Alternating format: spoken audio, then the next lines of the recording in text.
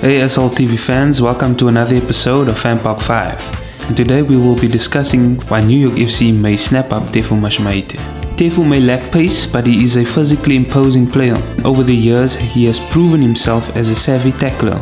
Standing at 6 foot 1, the centre back is often able to get the better of forwards with his aerial ability. Whether it was with his feet or his head, the 30 year old knows how to get forward and track back. This will undoubtedly impress New York FC's management. Few players are able to read the game like Tefu does. What he lacks in his pace, he makes up for in well timed interceptions.